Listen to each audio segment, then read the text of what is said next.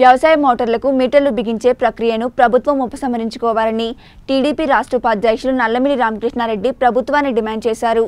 జగన్మోహన్ రెడ్డి నాయకత్వంలో వైఎస్ఆర్ ప్రభుత్వం రైతు రాజ్యం రాజన్న రాజ్యం తెస్తామని ప్రగల్భాలు పలికి ఈవేళ రైతులకు అనేక ఇబ్బందికర పరిస్థితులను సృష్టించడం జరుగుతుందని మండిపడ్డారు. వ్యవసాయ మోటార్లకు మీటర్లు బిగించాలని నిర్ణయం సిగ్గుచేటన్నారు.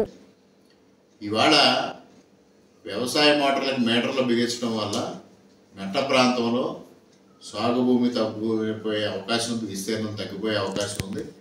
అదేవిధంగా రైతుల పారిట పెనుభారంగా మారే పరిస్థితి ఉంది.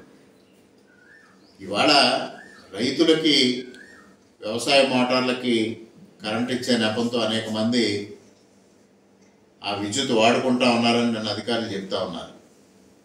మరి అటువంటి చౌర్యం అనేది ప్రతి సెక్టార్లోనే ఉంది.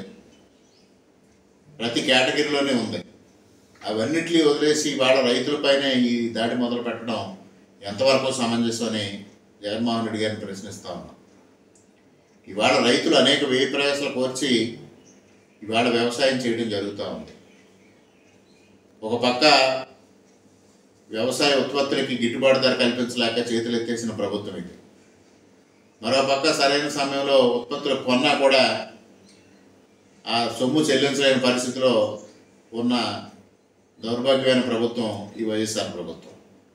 ఇటువంటి పరిస్థితుల్లో మరలా మూలిగా నక్క మీద తాటిపండు మాదిరిగా ఇవాళ మరలా ఈ వ్యవసాయ మోటార్లకు మీటర్లు బిగించుకునే ప్రక్రియను రాష్ట్రం అంతా ప్రారంభిస్తామని చెప్పడం దాన్ని కప్పిపుచ్చుకోవడం కోసం వారి లోపాలను కప్పిపుచ్చుకోవడం కోసం మేము ఏదైతే విద్యుత్ మీటర్లో ఛార్జీలు ఉన్నాయో ఆ ఛార్జీల్ని డిస్కమ్స్కి నేరుగా రైతుల అకౌంట్లో జమ చేస్తామని చెప్తా ఉన్నారు.